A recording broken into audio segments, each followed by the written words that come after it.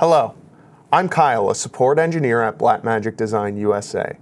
Today I will show you how to activate DaVinci Resolve Studio using the activation code. Treat your activation code as irreplaceable.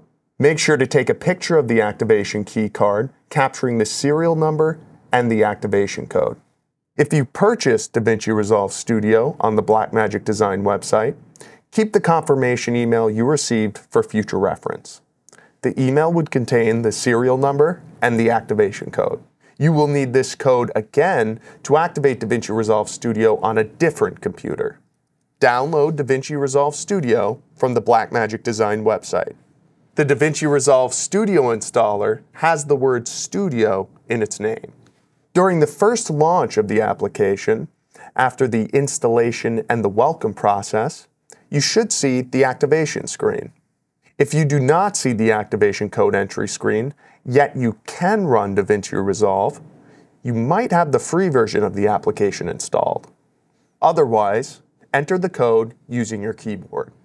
When entering the code, pay attention to spelling.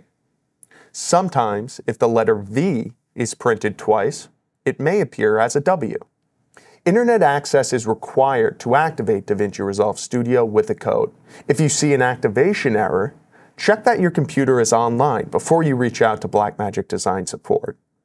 If you are not able to activate DaVinci Resolve Studio while connected to the work or school network, talk to your network administrator.